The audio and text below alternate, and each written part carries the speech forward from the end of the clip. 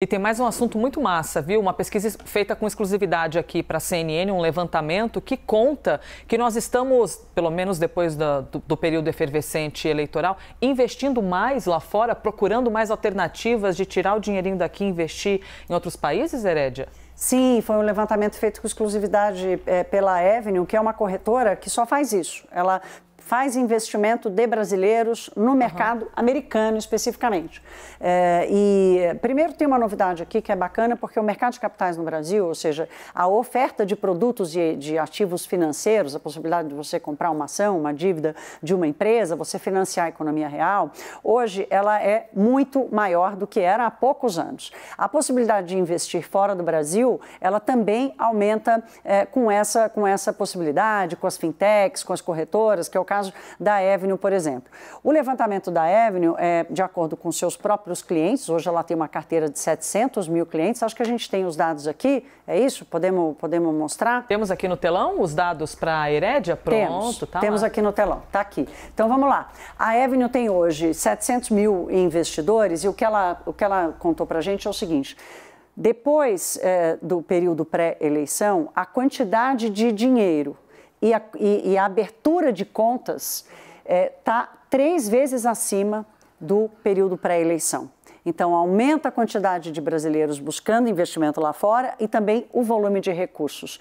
Na primeira semana de janeiro, na comparação com o mesmo período do, de dezembro, ou seja, do mês anterior, 35% maior de captação, significa que mais dinheiro entrando nas contas. E a captação só em dezembro do ano passado foi de um bilhão e meio de reais.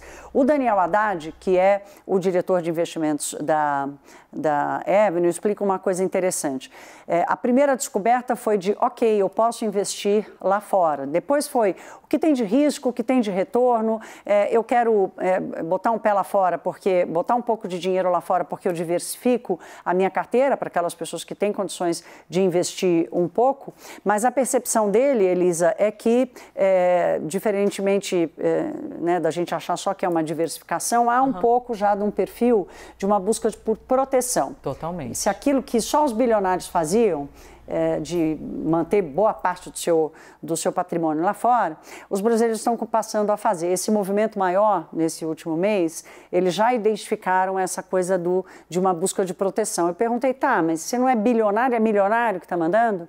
Ele falou: olha, o nosso ticket médio é de entre 30 e 50 mil reais. É olha. bastante dinheiro.